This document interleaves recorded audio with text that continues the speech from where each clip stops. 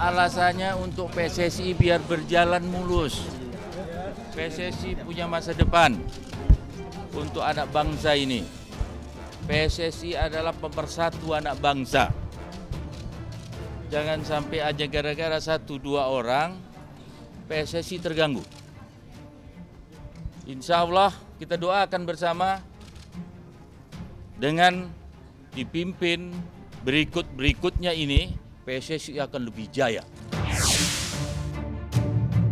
Tidak ada, ini olahraga tidak ada tekan menekan. Ini adalah keputusan yang paling baik untuk bangsa kita. Gubernur Sumatera Utara. Menurut kan Gubernur Sumatera Utara ini. Hah? Ya fokus ke sana.